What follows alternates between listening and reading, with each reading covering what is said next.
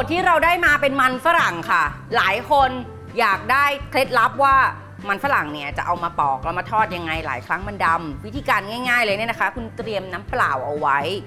มันฝรั่งซื้อมาล้างผิวให้สะอาดก่อนบางทีเวลาได้มาหลายครั้งมันมีขี้ดินเกาะเยอะมากๆเลยอะ่ะเอาแปรงเตรียมแปรงอันนึงที่สำหรับขัดพวกผักเอาไว้อะค่ะขัดขัดขัดขัดขัดแล้วก็ล้างในน้ำสะอาดเขาจะออกมาผิวดูสะอาดแบบนี้ จากนั้นเวลาปอกเนี่ยนะ ปอกง่ายๆ คือคุณหั่นหัวหั่นท้ายก่อน อย่างนี้นะคะ แล้วคุณก็เอามีดปอกปอก คุณจะปอกแบบนี้ก็ได้ หรือคุณจะปอกเข้าตัวก็ได้ได้เหมือนกันหมดเลย แบบนี้ปอกมันฝรั่ง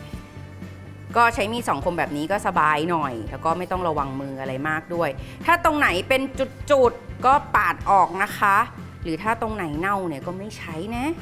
แบบนี้คุณจะได้มันแบบนี้มาอาแช่น้ำก่อน ระหว่างที่เราเคลียร์พื้นที่ของเรา จากนั้นได้แบบนี้เสร็จแล้วคุณหั่นหนาบางตามชอบ อย่างที่เราบอกเขาจะดำต่อเมื่อโดนน้ำเพราะฉะนั้นระมัดระวังเรื่องการโดนน้ำเท่านั้นเอง อันนี้เป็นตัวที่ตัดมันนะคะ ซื้อเป็นแบบเหมือนตัวซิกแซกอย่างเงี้ยค่ะ กดลงไปอย่างนี้เลย หลังจากกดเสร็จแล้วคุณก็แช่น้ำไว้ อย่างนี้ หนาบางตามชอบ แต่ขออย่างเดียวคือจะหนาจะบาง ก็ให้ชิ้นมันใกล้ๆกันไม่เช่นนั้นแล้ว เดี๋ยวเวลาทอดเขาจะสุกไม่พร้อมกันนะคะ ได้แบบนี้เสร็จแล้ว เดี๋ยวเราจะผึ่งเขาสักครู่หนึ่งแล้วเราก็เอามาชุบแป้งทอดกันเลยค่ะ เอาละ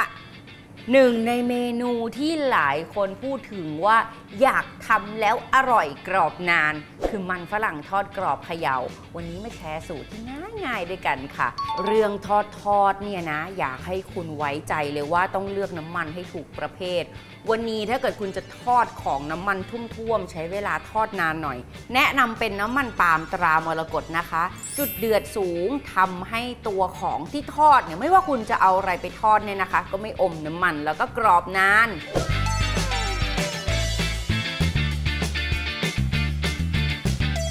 วันนี้เลือกใช้เป็นแป้งทอดกรอบ Hot and Spicy 2 in 1 กระเทียมพริกไทยตราโกกิค่ะ เนี่ยนานาซื้อมา 1 กล่องแบบนี้เนี่ยนะคะ เปิดออกมาจะมีแป้งทอดกรอบอยู่ 2 ซอง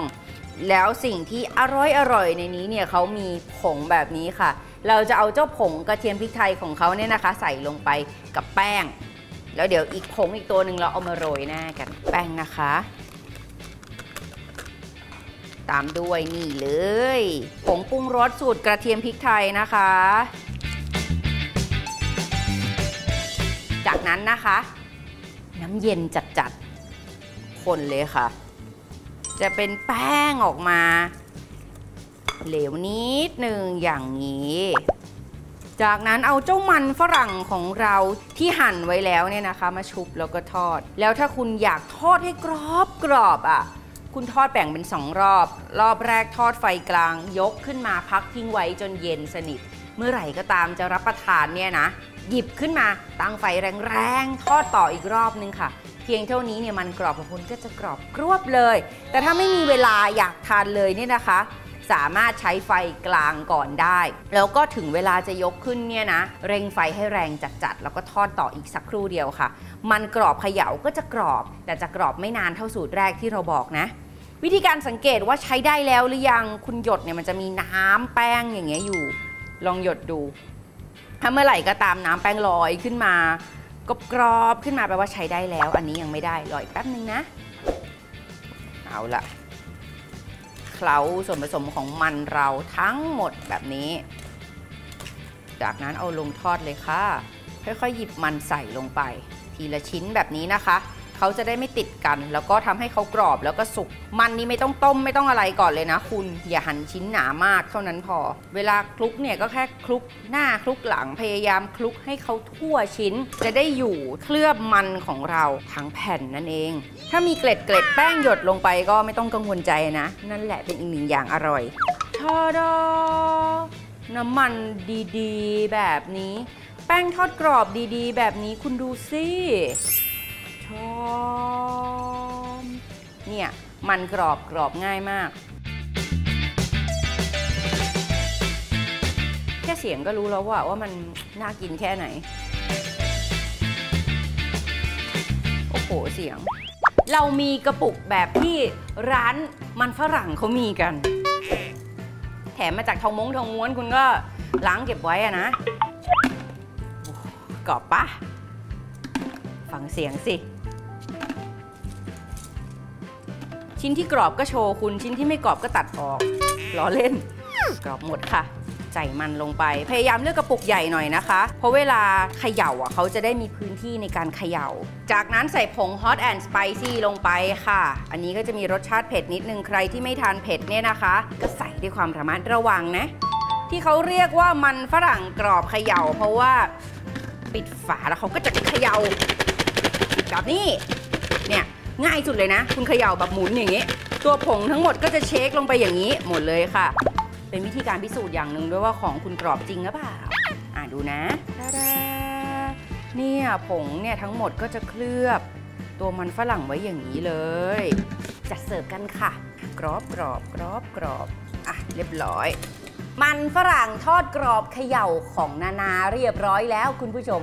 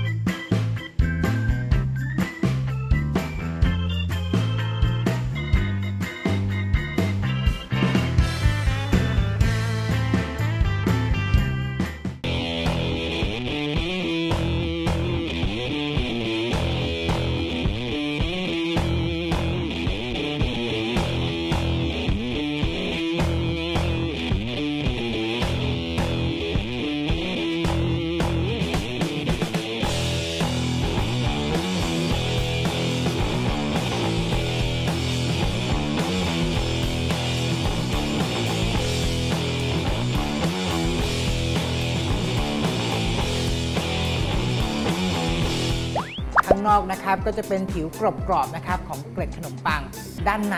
ก็จะเป็นตัวมันฝรั่งนุ่มๆนะครับแล้วก็จะมีชีสยืดๆด้วย มันฝรั่งทอดกรอบเขย่าสูตรที่เขาไวรัลกันมากๆ ในออนไลน์ตอนนี้เนี่ยนะคะ นานาทำโชว์คุณผู้ชมแล้วว่าทำง่ายใครๆก็ทำได้จริง ๆ ล่ะ อร่อยล้ำสมัยมีสไตล์ไปกับลูโบ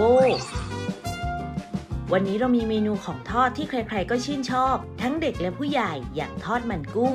ที่เพิ่มความพิเศษด้วยรสชาติเผ็ด กลมกล่อมหอมถึงใจ ให้ทอดมันกุ้งของคุณมีความอร่อยและแปลกใหม่มาฝากกันค่ะ กับทอดมันกุ้งป๊อปสไปซี่ วิธีทำใส่เนื้อกุ้งลงในภาชนะ ตามด้วยมันหมูบดผงหมักไก่สไปซี่บิ๊กวิงตราโลโบ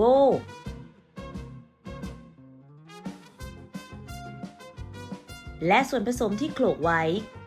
เคล้าให้เข้ากัน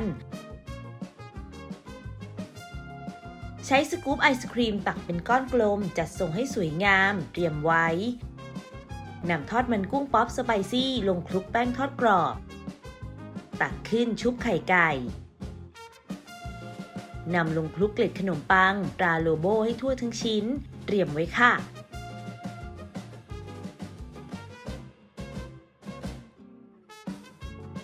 จากนั้นนำลงทอดในน้ำมันพืชที่อุ่นไว้ ทอดจนสุกเหลืองกรอบ ตักขึ้น พักให้เสด็จน้ำมัน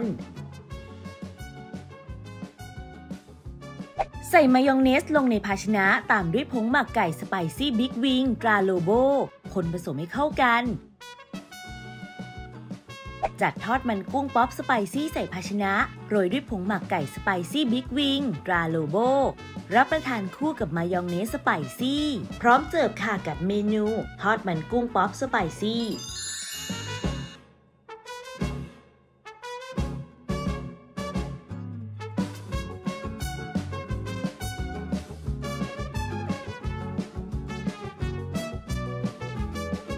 แค่มีโลโบผู้รู้จริงในการปรุงอาหาร ก็ทำให้เมนูธรรมดาธรรมดา อร่อยล้ำสมัยมีสไตล์แล้วล่ะค่ะ